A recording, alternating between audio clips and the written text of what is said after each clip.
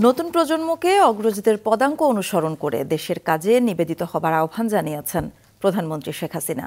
ওসমানী স্মৃতি মিলনায়তনে একুশে পদক প্রদান অনুষ্ঠানে এ আহ্বান জানান তিনি।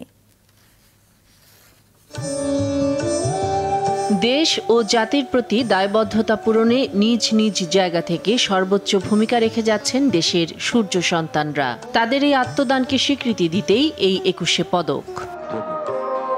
মুক্তিযুদ্ধ, ভাষা আন্দোলন, শিল্পকলা, শিক্ষা, সাংবাদিকতা, সমাজসেবা, রাজনীতি, গবেষণা শাখায় বিশেষ অবদানের জন্য এবার একুশে পদক দু দেয়া হয় ১৯ জন ব্যক্তি ও দুইটি প্রতিষ্ঠানকে।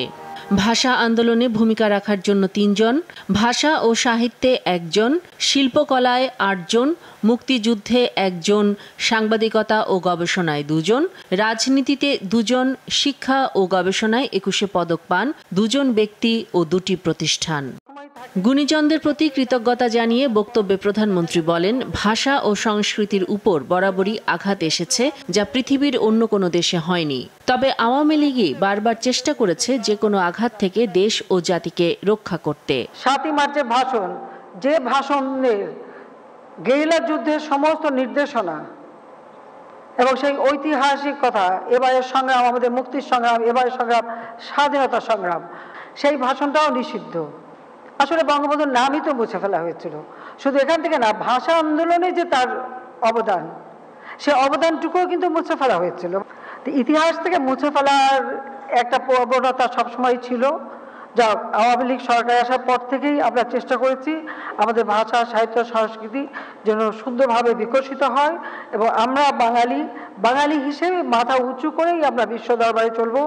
শহীদদের রক্ত বৃথা যায়নি উল্লেখ করে নতুন প্রজন্মকে অগ্রজদের পদাঙ্ক অনুসরণের আহ্বান জানান তিনি। সমাজে বহু গুণীজন পড়ে আছেন।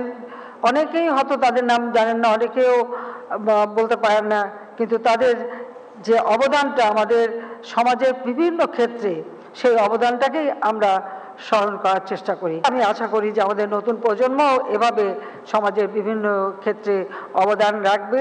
আধুনিক প্রযুক্তির সাথে তাল মিলিয়ে সামনে এগিয়ে যেয়ে দেশকে উন্নত করারও প্রত্যয় জানান প্রধানমন্ত্রী শেখ হাসিনা। ইফতিসাম নাসিম মৌ মাছরাঙা সংবাদ ঢাকা।